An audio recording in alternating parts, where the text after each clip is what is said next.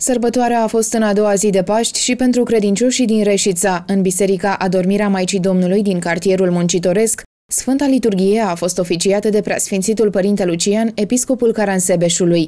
Se cuvenea ca în a doua zi de Paști să venim și să urmăm această frumoasă tradiție, să venim și să slujim aici la Reșița într-una din bisericile reșițene.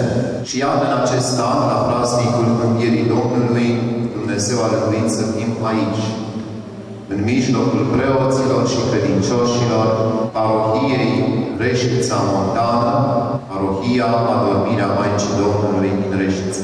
Vă mulțumim că de dimineață ne-ați așteptat cu bucurie sfântă, de dimineață ați venit la biserică ca împreună să slujim Sfânta Liturghie și să cântăm împreună cu membrii corului bisericesc și noi toți cea mai frumoasă cântare din cultul divin public creștin, Hristos a înviat din morți, moartea pe moarte călcând și celor din morminte viață dăruind. La Sfânta Liturghie a participat un număr însemnat de credincioși. Răspunsurile liturgice au fost date de corul parohiei.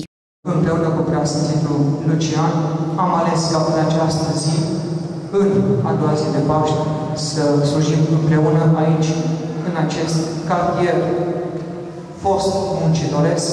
Ne bucurăm că iată și coral am podobit această frumoasă liturghie. Ne bucurăm că suntem astăzi aici împreună ne bucurăm că am găsit liniștea Sfintei Liturghii Arhierești în această frumoasă biserică a Reșiței, pe care vechi reșițeni au construit-o din poporul lor și din munca lor de la combinatul ce pe atunci se numea UDR. Monumentala biserică din Reșița Montana a fost ridicată între anii 1938-1941 și a fost târnosită în 1972.